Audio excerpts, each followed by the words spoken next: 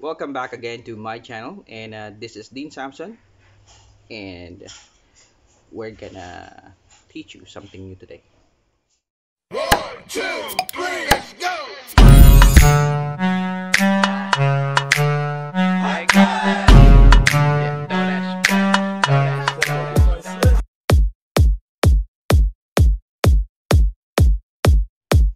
Na-experience nyo na ba yung may napakinggan kayo music tapos gustong gusto nyo malaman kung ano yung title ng song. Pero hindi mo alam kung ano yung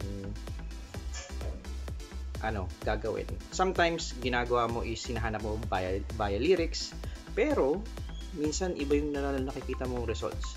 So ngayon um, turuan ko kayo kung paano nyo hanapin yung music na gusto nyo or turuan ko kayo kung paano um, hanapin yung music na gusto nyong marinig muli.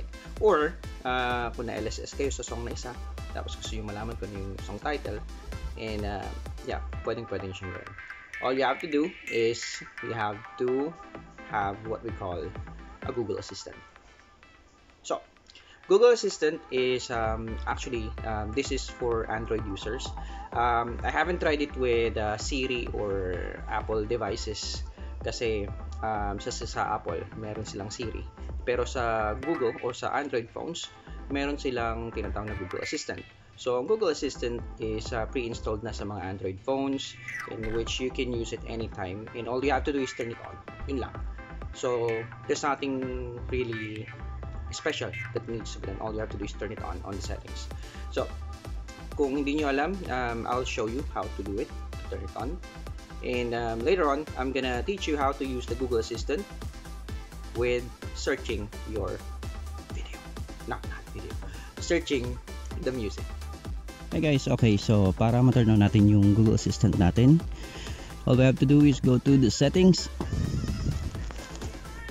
then scroll for Google, then go to account services, then doon tayo sa search assistant and voice.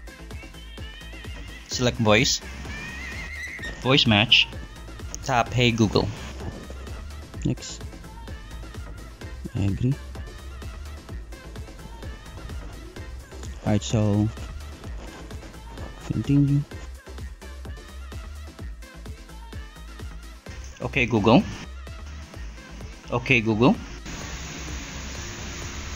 Hey, Google. Hey, Google.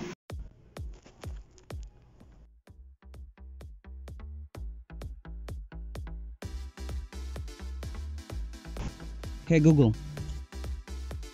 Tell me a joke.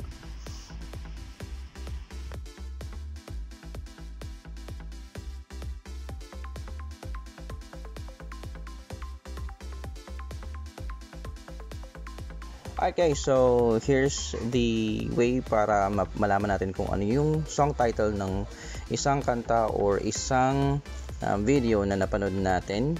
And uh, para magawa yan is kailangan naka-turn on yung Google Assistant nyo. All you have to do or all you have to say on your phone is, uh, okay Google, Tell me the song.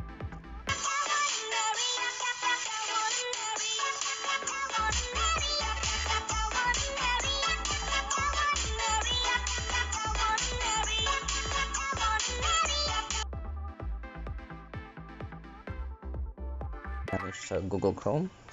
And of course, doon tayo sa videos.